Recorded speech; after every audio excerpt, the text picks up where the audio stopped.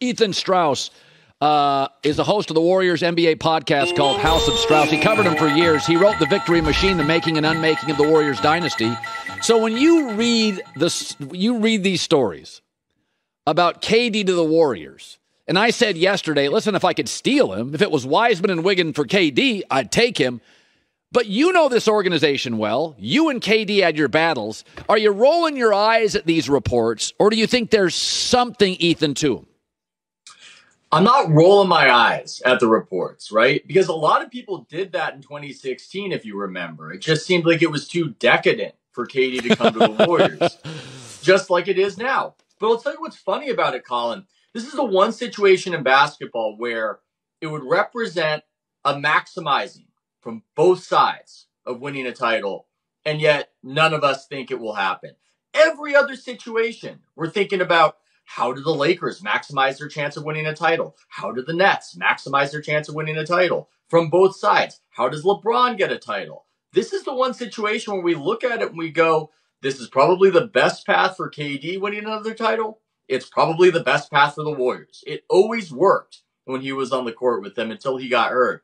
And yet, Colin, it just feels like it feels like getting remarried to your second wife. It's awkward. It's weird. Nobody wants it. It's not good show business. And those factors seem like they outweigh the factors of winning a title as much as we say it's all about winning a title. Some titles matter more than others.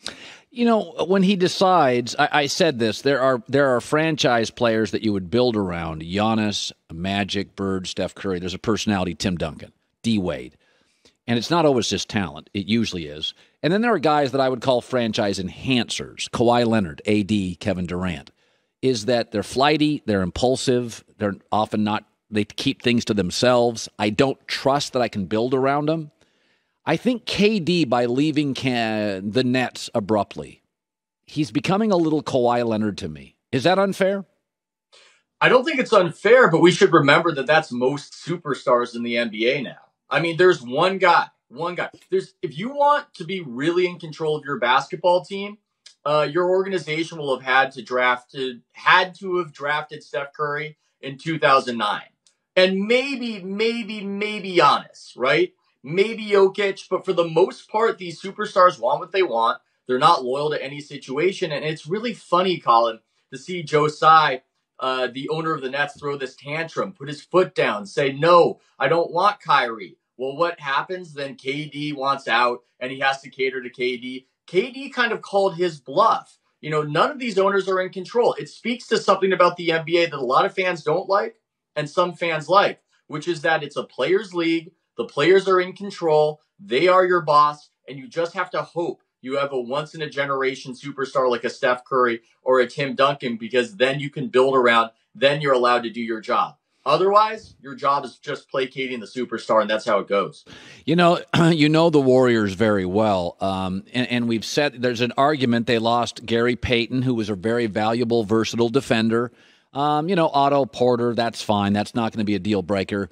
Um, generally, uh, I am a believer that even if you win a championship, uh, the Rams, for instance, they win a championship, they move off Robert Woods, they get Allen Robinson, they feel that's an upgrade at wide receiver, they get Bobby Wagner. Uh, they had, a, you know, they are not going to stand pat. They are going to make moves. And so with the Warriors, do you think in, in deep in the reservoir of Bob Myers and Steve Kerr, are they sitting there thinking, listen, we got a little lucky. Kawhi got hurt. AD LeBron got hurt. Or do you believe right now Kerr and Bob Myers think we don't need KD? We should be an overwhelming favorite next year. It's a great question. It's a great question. I don't know if Steve Kerr wants to go another round or two with KD. That was a story that had really run out between those two. He was taking shot after shot at Steve Kerr in those press conferences, mocking the idea of playing with joy, saying sarcastically, Oh, we're supposed to play with joy he was completely trying to subvert whatever Kerr was doing towards the end. So even if, and he would never say it publicly, but even if that would give the Warriors an edge, there's something called the iron law of institutions, Colin. And we see it in sports all the time, which is that people care more about their power within an organization than the power and effectiveness of the organization. Nobody admits it, but we're all built that way. So I don't see Kerr wanting this even if it might give the Warriors an edge. And if he can tell himself that the Warriors can win without KD, then I just think he just wouldn't want that. And then you also have to remember, Colin, the Warriors really prioritize building from within with these draft picks. It's the VC mentality. We get something that nobody else wants or doesn't have that much value. We get it on the cheap. We build. So, yes, it's hard. It, they might be losing some guys they need, but I think the mentality from Joe Lacob the owner, is we've got Moody, we've got Kuminga. It's next guy up. It's next generation. Let's go. And that's why they're saying goodbye to maybe some of these role players who have helped them win a championship. Um, it, Draymond Green has obviously been good for my business, the podcast business, and he I love him and he's great.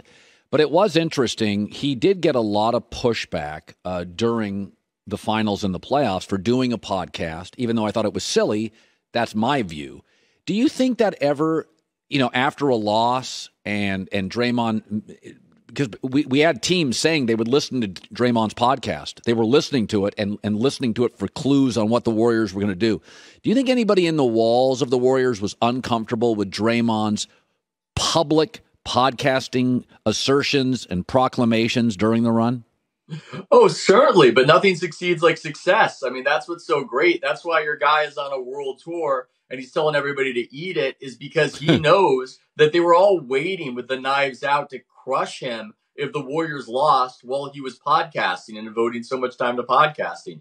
But what do we do, Colin? We, we play the result in sports. We say, I know you shouldn't have gone for it on fourth down or whatever. We just wait for the result and we judge you on the basis of it. Uh, I think it's great for him. It's great for you that he has proven he has broken the podcasting barrier, Colin, and shown that you can win a championship while having a second job in this way. I don't think the Warriors wanted it. I don't think it's what they really were cheering on. But hey, he was amazing in those last two games. He was essential. And hey, it's the story of Draymond and the Warriors. He might drive them crazy, but in the end, he's worth it. You know, it, it, I said this. Um, the NBA playoffs ratings were pretty solid. The finals were a mess.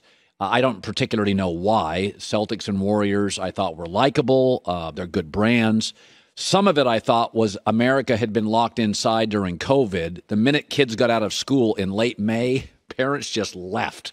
You couldn't get on a plane hotels were full. Now that's that's my interpretation of why the ratings went down, but you've been on this for years and years.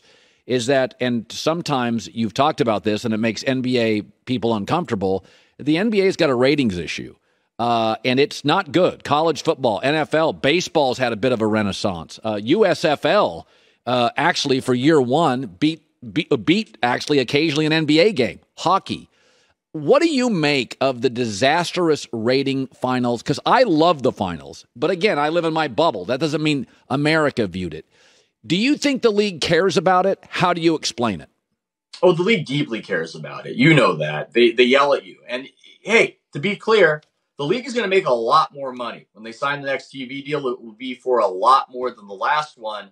But if they were going gangbusters, if they were growing in viewership, then that would be tens of billions of dollars extra into their coffers. So they definitely care. Uh, what do I make of the ratings being solid up until the finals? What I make is this I think the NBA diehard has not left. So they have a certain floor.